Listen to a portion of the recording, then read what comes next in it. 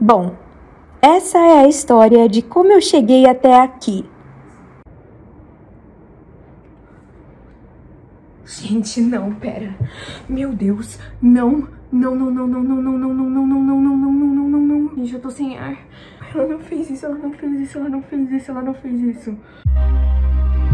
E aí pessoal, eu sou Mari Ramos e sejam muito, mas muito bem-vindos ao meu canal, viu? No vídeo de hoje a gente vai começar o vlog de leitura de Crescent City 2. Eu tô muito animada porque eu estava esperando muito por esse livro. É, como vocês sabem, ó, Crescent City tá aqui atrás, é um dos meus livros preferidos da Sarah J Maas. Vamos ver se ele continua meu preferido aqui em Casa de Céu e Sopro. Eu tô esperando esse livro desde novembro porque eu comprei ele no dia que a pré-venda abriu e eu tô muito ansiosa ansiosa e muito nervosa ao mesmo tempo. Junto com esse livro veio um marca-página, ó, de Casa de Céu e Sopro. Veio também uma flâmula que eu comprei na pré-venda, né? Então veio os brindes. E veio também esse pôster incrível de Bryce e Hunt. E aí eu fico pensando, se veio um pôster desse de Bryce Hunt, Sarah J mesmo seria capaz, né? Ela não seria capaz de separar o meu casal. Bom, vamos ver o que vai acontecer nesse livro. Outra coisa que eu queria falar, eu acho que eu vou ter que fazer um vídeo separado sobre isso, porque eu quero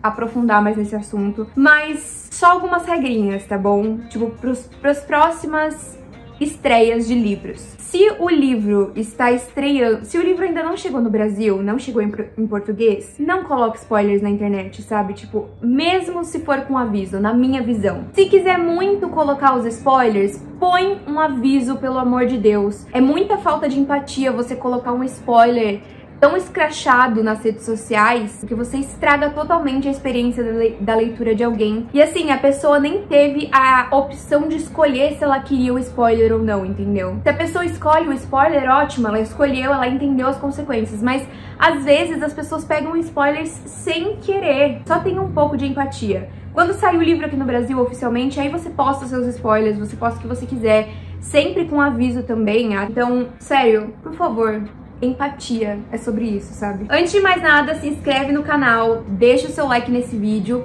e ativa o sininho de notificação. Compartilha com os amigos desse vídeo, se você gostar também compartilha no Twitter, no WhatsApp, com todo mundo. Eu vou deixar o link para você comprar os dois livros da Sarah J Maas, Casa, é, Crescente Siri 1 e 2, aqui na descrição.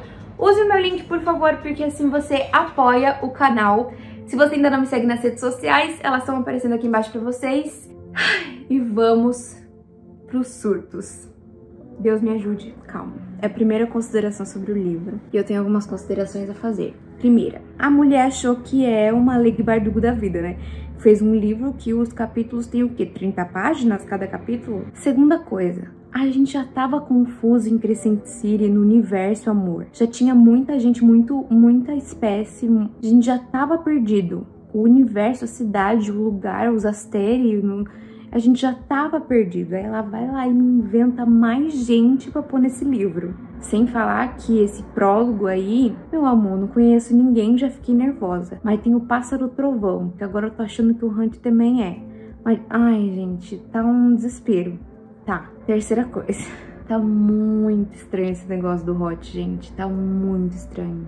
Tá muito estranho, porque no Crescent City já não teve Hot. Teve dois hots no livro. Só que, tipo assim, eles nunca transaram. E, tipo assim, eles fizeram agora um acordo de se conhecerem primeiro. E tá muito esquisito isso. Alguma coisa aí não tá certa. Sabe o que você fala? Ih, não, menina, isso aí tá errado. Eu já coloquei na minha cabeça que o Hunt vai morrer. Deve existir coisa pior do que isso? Deve. Mas eu já coloquei na minha cabeça isso porque se acontecer, pelo menos já tô preparada. Aí entra aquele Cormac, sabe? E aí tá mais estranho ainda. Por quê? Ok, o pai dela falou que ela vai ser noiva dele e já deu, deixou a gente puta, né? Só que assim, eu tô pensando, putz, a Sarah de Inês fez a mesma coisa em Acotar, que a gente não suportava o Rice. E aí chegou um momento que a gente amava ele. Eu tô com muito medo desse Cormac aí ser um cara legal depois no final, nós vai gostar dele. Tô tentando ver indícios disso. Mas com a Sarah J. Maas é sempre uma caixinha de surpresa, né? Aquela pilantra. Acabei o capítulo justamente, o capítulo 3, justamente quando fala que o Ethan tava sangrando na, no meio da casa da Bryce e do Hunt. Só quem lê os livros da, da Sarah J. Maas sabe. É um sentimento muito de, meu Deus, ela vai acabar com os meus personagens preferidos. Ela vai meter um monte de história que vai fazer sentido, mas eu não vou ter... E por isso que eu não vou ter nem como contestar pra ela. Ai. Oi, gente. Eu tô no capítulo 12 já de Crescent City. Descobri toda essa coisa que tá acontecendo com o Tarion, que ele agora também é um personagem que tá aparecendo mais nesse livro. E isso é bem legal, porque a gente vai conhecer um pouco melhor da personalidade dele. Bom, ele tá atrás da Sophie, porque a rainha lá das águas tá atrás dela por algum motivo, e eu ainda não consegui entender por quê. Mas ao que tudo indica, ela conseguiu fugir da Corsa. Uma coisa que eu fico muito em dúvida aqui das coisas, que, que para mim é muito confuso, e eu até vou tentar procurar isso depois para trazer um vídeo mais completo para vocês. É muito confuso o universo de Cidade da Lua Crescente. Ok, eu tô tentando entender o que, que essa Sophie tem a ver nessa história, porque ainda não apareceu nada. O rei outonal não mudou nada, ainda é um babaca. Sabemos que a Celestina, que é a nova governadora lá, ela parece uma pessoa muito de boa. Adorei ela. Só que como a gente, como é o livro da Sarah G. Nunca que a gente pode ter confiança 100% numa pessoa, né? Isso ajuda muito na vida. O Ethan apareceu lá no, no apartamento da Bryce, só que eu tô achando um pouco estranho as coisas, porque, tipo assim, no primeiro livro, tá, o Connor morreu e aí ele ficou putíssimo com a Bryce. E aí eu não tinha essa sensação de que ele e a Bryce eram, tipo, melhores amigos, sabe? Eu não tinha muito essa impressão. O Aidas foi no, no apartamento da Bryce e ele começou a falar que ela é, tinha que ser a solução para essa guerra que acontece há mais de 15 anos. Os Asteri, eles escondem muito sobre o antes deles estarem ali. Eles apagaram muita história. Aí, menina, o que me deixou chocada é que o Aida estava falando assim. Ele falou pra ele falou pra Bryce, ajude a Ophion se você precisar e tal. Já preciso dizer pra você que eu não sei nada. O Aidas falou, né? Eu não sei nada sobre a relação da Danica com a Sophie. Aí a Bryce falou assim, mas eu nem mesmo conheço um rebelde, um... rebelde, né? Eu nem conheço um rebelde da Ophion. Aí o Aidas falou, isso não é verdade. Tem um logo atrás de você. E o Cormac estava na porta. E ele falou... E aí o Aidas falou, oi agente Silverbolt que é o agente que provavelmente é namorado da Sophie, que aparece lá no começo, que ajudou ela a salvar o irmão. Então, meus amores, eu tô só assim, agora que o bicho vai pegar. Outra coisa é, é que eu acho que o Baxian, que é o cara ruim que, que veio lá com o Pollux pra cá, eu acho que, pelo visto, ele vai ser alguém útil também e alguém bom para essa história. O Pollux, eu acredito que não, porque ele tem muita relação com a Corsa e com outros, mas o Baxian, eu acho que ele pode ser bom para essa história, pode ser útil. E eu quero já deixar aqui a minha teoria, a minha theory, de que nesse livro a gente descobre que a Danica, ela é uma farejadora. Isso quer dizer que ela consegue sentir o cheiro da linhagem das pessoas. Por isso que ela descobriu que o, que o Run, Run, Ron, sei lá como é que fala, era o irmão da Bryce e não o primo dela. Então ela tem essa facilidade em farejar as pessoas e descobrir linhagens. Então eu tenho quase certeza que foi ela que entrou em contato com a Sophie porque elas são irmãs por parte de pai. Não sei como, eles vão me explicar depois. Olá, queridos habitantes de Lunato. Acabei de chegar na parte 2 do livro, que se chama O Abismo. Ah, eu acho o máximo, porque coisa boa não deve ser. Não, não, não aceito o Ethan com crush na Bryce. Só isso, tchau. E eu cheguei... Ai, que cena incrível. O Hunt e a Bryce se autodenominam parceiros. Parceiros é uma coisa muito mais forte para os féricos nesse livro do que pro resto das espécies. Então ainda tem esse peso dos féricos como de Akotar, só que mais pra Bryce do que pro Hunt. Eu acabei de conhecer o pai da Danica. O Mordok é o pai da Danica. Eu tava, eu tava só esperando, na realidade, tá? Porque, tipo assim, não estavam falando quem era o pai da Danica. Já foi citado antes que ela pode ter pego o negócio de farejador do pai, de parte de pai. E pelo que ele tá vendo, ele tava sentindo o cheiro. E o Ethan conhece ele. Ok, já temos uma identidade. Voltaremos daqui a pouco pra comentar mais o assunto. Gente, eu vou ser muito sincera, tá? Eu tô aqui, tipo, com o ventilador a mil, porque tá muito quente. Só que tá acontecendo várias coisas. Eu não tô nem num cenário bonitinho. Eu tô com a minha TV ali atrás, a porta e tudo mais. Minha, minha estante tá aqui, só que eu tô, tipo, enlouquecida. Gente, eu nem sei o que falar, tá? Porque, tipo, o, a Bryce, ela, eu sabia que aquela estátua não ia, ser em vão. Do deus do trovão lá, sei lá, deus do trovão, não sei o que que é. O macho férico que tava com, no começo. E ele tinha um canalizador do, dos raios. E ela deu a Aster para o Hunt e o mundo explodiu. Ai, gente, esse livro, ele, ele me tira o ar. Porque ele manda essa e depois não explica. Agora eu vou ter que ler 15 páginas pra poder entender o que, que aconteceu, gente. Eu fico extremamente ansiosa com esse livro, extremamente ansiosa. Vai dar tudo certo, vai dar tudo certo. A coisa que tá me movendo, assim, é que eu tenho uma teoria de que a agente Daybright, que tá conversando com o Ron, eu acho que ela é a Corsa. Porque eu não faço ideia. Na verdade, tem um motivo, mas assim, não muito concreto. Na hora que o, que o Ron e o Ethan e o Cormac, eles estavam lá no bar e chegou a Corsa e a Arpia, ele olhou pra Corsa e falou, eu acabei de ver a mulher mais linda... Acabei de ver, não. Ele falou, ele viu a mulher mais linda que ele já viu na vida. Primeira coisa, isso só acontece com... Tipo, a gente só vê essa frase quando são parceiros. Porque isso já aconteceu em Acotar, né? Vocês estão lembrados. Segundo, quando ele teve contato com a agente Daybright, ele achou que ele já conhecia ela. E ela tem uma áurea meio cabelos de fogo, dourado e tudo mais. E a Corsa tem uma descrição bem parecida com isso. Então eu tô achando que isso tá acontecendo. Mais um medinho que eu tô. Ethan. Causando, né, meus amores? O que, que você espera que a Sarah J. Maas quis inventar agora que o Ethan sempre foi fim da Bryce? Não tô gostando, porque assim, eu gosto do Ethan, mas eu não gosto do Ethan pra Bryce. Eu acho que ele é muito jovenzinho, muito inconsequente, muito chatinho também às vezes. Gosto dele, mas também não acho que eu, sabe? Só queria comentar mais uma coisa. Que eu acho muito que essa gente Daybright seja parceira do, do, do Ron. Eu acho, sabe por quê? Porque é, eles, eles sentem coisas a mais um do outro, reações um do outro. Que é isso, gente, ó. Vamos jogar pro universo? Vamos? A gente vê o que, que acontece. Gente.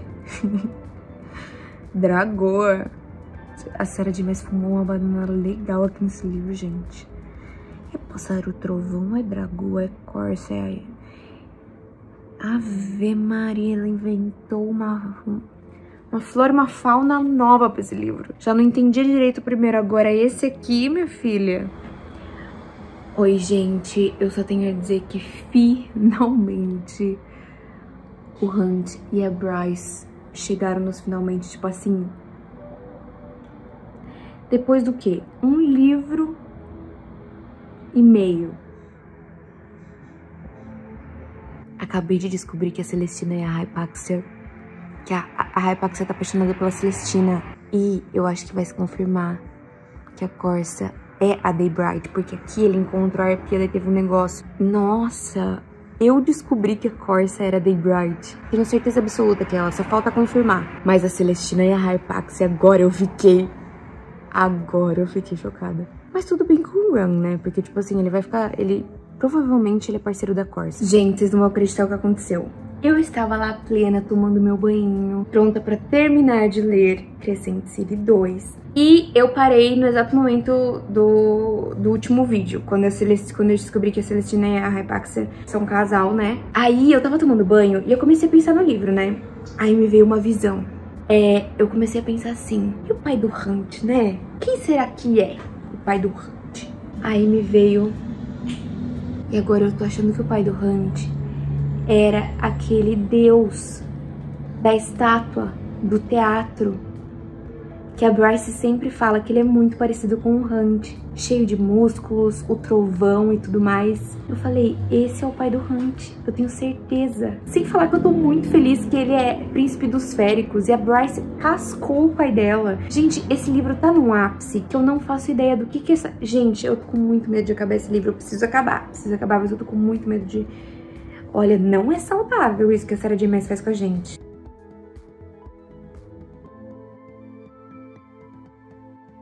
Como é que a Danica era parceira do Cão do Inferno? Gente, eu tô show... Eu arrepiei inteira, mas tipo assim, ó... O que, que tá acontecendo? Meu Deus.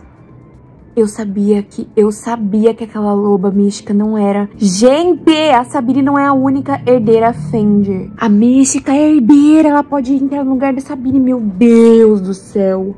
Tô muito, gente, será que esse livro vai acabar tudo bem? Tipo assim, OK, vai acabar em aberto, mas será que ele vai acabar tipo assim, coisas legais acontecendo, ninguém vai morrer? Que tipo assim, Oi, gente, eu tô aqui sem maquiagem, tô no quarto dos meus pais porque tem ar-condicionado. Eu acabei de chegar no capítulo 76 e eu vou ler aqui com vocês enquanto eu gravo. Cheguei no capítulo 76, ó, já descobri um monte de coisa, tô enlouquecida.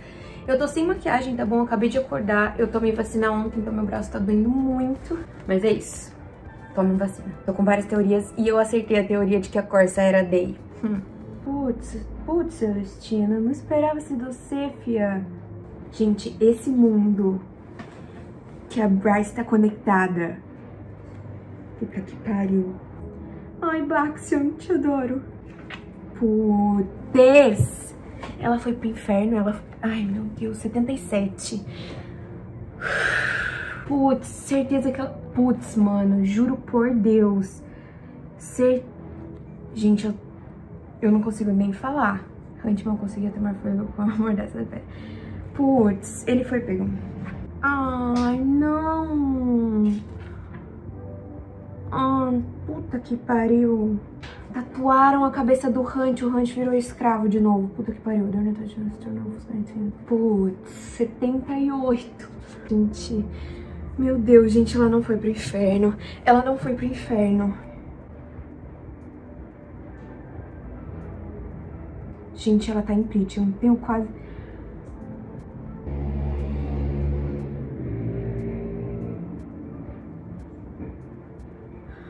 Meu Deus! Gente, eu não vou conseguir ler a página. Eu tô muito ansiosa, eu quero ver o final. Meu Deus, não, não, não.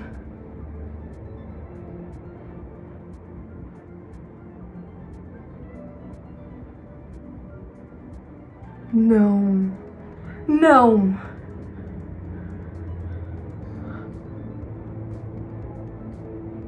Não. Não, não, não, não, não, não, não, não, não, não, não, não, não, não,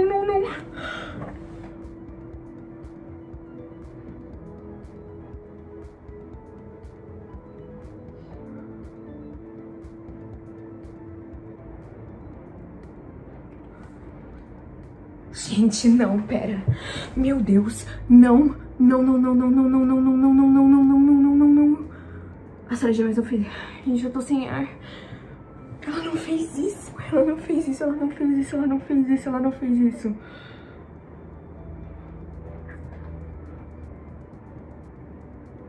Meu Deus, não, não, não.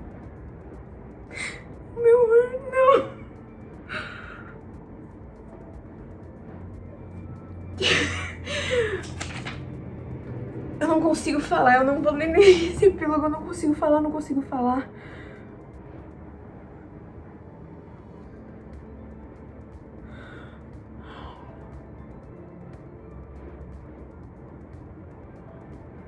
Gente do céu, ela não me uniu, ela uniu os universos, ela uniu os universos, ela uniu os universos, isso é muito maior do que a gente imaginava. Gente, eu não tô conseguindo, eu tô sem ar. Eu tô travada, eu não sei o que falar. Eu não sei nem se eu consigo falar sobre isso. O capítulo 78 foi o melhor capítulo do, da minha vida. Ainda tem o epílogo e os contos pra eu ler, mas, gente, eu não acredito. Gente, eu não acredito que ela fez isso. E você sabe que eu tava lendo, eu tava pensando assim, mano, certeza que a, a, a Amaranta, que o rei de Hybern, aquela rainha do caos lá, certeza que, ela, que eles eram Asteres. Certeza, então. Tudo se encaixa, mano, eu não acredito nisso. Agora eu preciso ler Trono de Vidro pra entender, porque vai se unir com essa história também, Trono de Vidro. Só que eu não acredito que ela fez isso. Gente, eu não acredito que ela fez isso. Eu não acredito que essa... A gente precisa descobrir o que que o Hunt é de tão diferente. O que que ele é. Será que ele é um iliriano? Será que ele tem a... o sangue iliriano? Será que ele é, tipo, irmão do, do Rising? Porque ele é uma coisa criada, ele é uma coisa que não existe lá. Será que ele tem isso? Olha, eu tô feliz porque nem Run e nem Hunt morreram. Então a gente tem ainda um próximo livro pra saber o que aconteceu. Pra mim, tô tranquila com isso, até foi muito melhor esse final. Mano, eu não acredito, eu não acredito que ela fez Eu preciso discutir com alguém, mas ao mesmo tempo eu não quero falar sobre isso, sabe? Eu quero só digerir pra entender o que tá acontecendo. Não quero saber de Ethan nada, minha filha. Eu quero saber do negócio. Gente, é isso. Eu tô chocada, não sei nem o que falar. Eu tô... É... Bom, espero que vocês tenham gostado desse vlog de leitura. Não esquece de se inscrever no canal e deixar o seu like. Um beijo até a próxima. Um beijo e com certeza até a próxima.